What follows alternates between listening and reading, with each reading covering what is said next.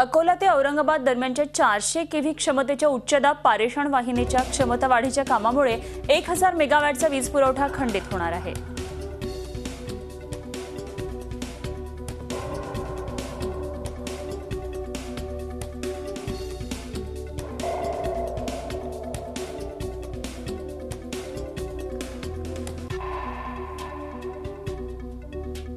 तर शुक्रवारी पंचवीस एप्रिलपासून ते रविवारी सत्तावीस एप्रिल असे तीन दिवस मराठवाडा आणि पश्चिम महाराष्ट्रासह नवी मुंबई आणि ठाणे जिल्ह्यामध्ये भारनियमन होण्याची शक्यता आहे.